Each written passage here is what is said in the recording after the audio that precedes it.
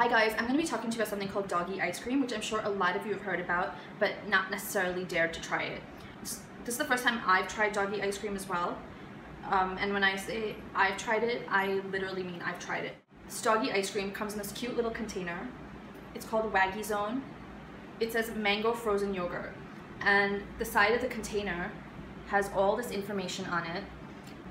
One of the pieces of information is the dog saying, Finally, I have my own dessert with no added sugar and artificial color.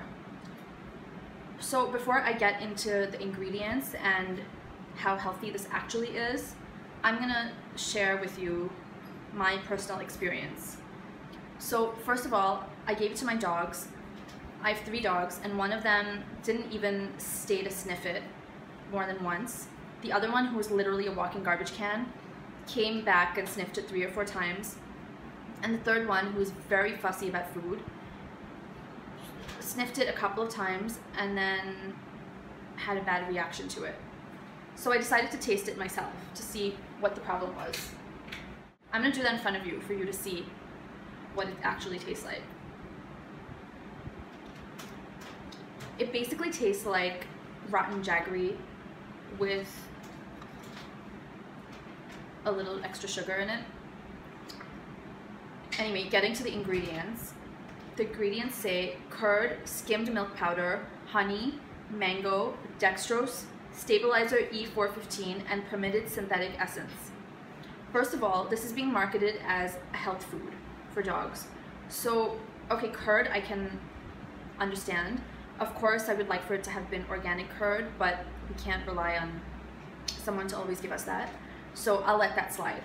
Then there's skimmed milk powder why do we have to use milk powder? Why not just plain skim milk? If we have real curd, then real skim milk shouldn't be a problem.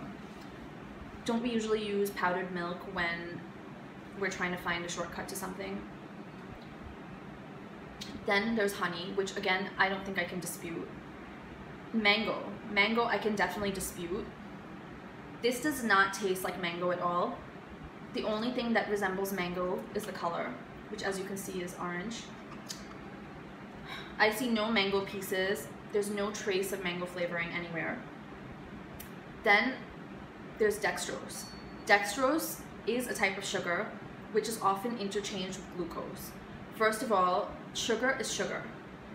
Secondly, dextrose is often used by manufacturers to mask the fact that glucose exists in the product.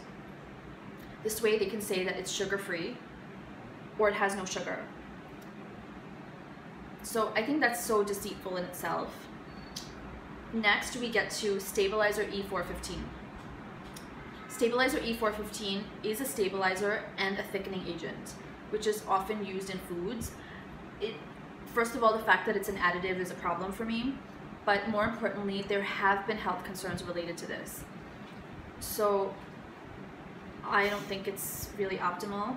Finally, it says permitted synthetic essence why do why do we need to include that? I mean, synthetic essences are usually used to enhance taste and smell, which obviously this this does.